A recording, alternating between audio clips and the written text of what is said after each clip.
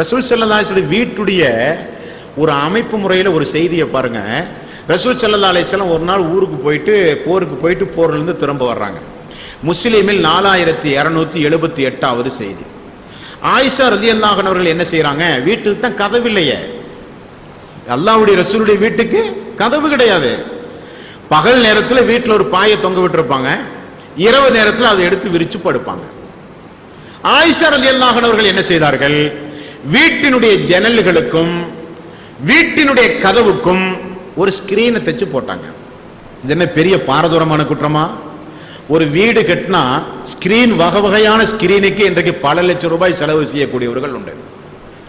ஆசைக்கு செவுத்தில் வெளியிலிருந்து யாரும் பார்த்துடக்கூடாங்கிறதுக்காக வேண்டி ஒரு ஸ்கிரீன் தைச்ச போட்டாங்க.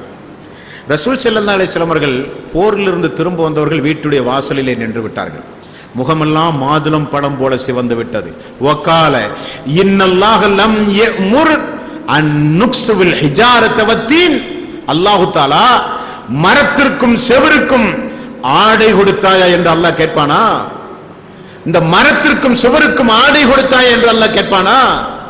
எத்தனை பேர் ஆடை இல்லாமல் இருக்கிறார்கள். உடுப்பதற்கு ஆடை இல்லாமல் எத்தனை பேர் இருக்கிறார்கள். ரசூலுல்லாஹி ஸல்லல்லாஹு அலைஹி வஸல்லம் கடுமையான வாசகம். உடனே ஆயிஷா அவர்கள் பதறி போய் அதை பீத்து உடனே ரசூல் ஸல்லல்லாஹு அலைஹி அவர்களுக்கு தலையணையாக தைத்து போட்டார்கள் என்று ஹதீசுகளிலே பார்க்கிறோம். முஸ்லீமில் ரெண்டாயிரத்தி தொள்ளாயிரத்தி நாற்பத்தி ஏழாவது செய்தி உமர் அலி அல்லாஹன் அவர்கள் தேம்பி தேம்பி அழுத ஒரு செய்தி அல்லாவுடைய ரசூல் ஆறுதல் சொன்ன செய்தி வீட்டினுடைய அமைப்பு முறை. தூதருடைய வீட்டுடைய அமைப்பு முறை. அப்படித்தான் வாழ வேண்டும் என்கிற சட்டமெல்லாம் இல்லைங்க. அல்லாஹ்வுடைய ரசூலை போல வீடு கட்டணும் அல்லாவுடைய ரசூலை போல பட்டினி கிடக்கணும். அல்லாவுடைய ரசூலை போல ஒரு நாள் உணவு ஒரு நாள் பட்டினி இருக்கணும். சட்டமெல்லாம் கிடையாது. அழகா வசிக்கலாம். அழகா உண்ணலாம். அழகான ஆடை அணியலாம். அழகாக வாழலாம். நல்ல பணம் சம்பாதிக்கலாம். எந்த தடையும் கிடையாது. இபாதத்தைகளை விட்டும் தூரமாகாமல் இருக்கணும். நிறைய தர்மங்களை செய்யணும்.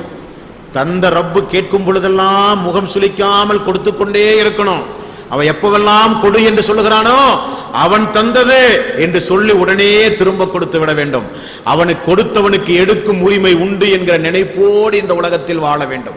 அல்லாஹருடைய நினைப்பை விட்டும் தூரமாகாமல் இபாதத்துகளை விட்டும் தூரமாகாமல் விக்கிர்கள் செலவாத்துகள் பாவ மன்னிப்புகளை விட்டும் தூரமாகாமல் எவ்வளவு வேணாலும் சம்பாரிங்க எவ்வளவு வேணாலும் சாப்பிடுங்க. ஆனால் தேவைகளை குறைத்து வாழ்ந்தால் பெரும்பாவத்திலிருந்து ஈஸியாக தப்பிச்சிடலாம். அதுதான் லாஜிக் தேவைகளை மட்டும் கொஞ்சம் சுருக்கி வாழ்ந்தால் பெரும் பாவங்களை விட்டும் நீங்கள் விலகி வாழலாம்.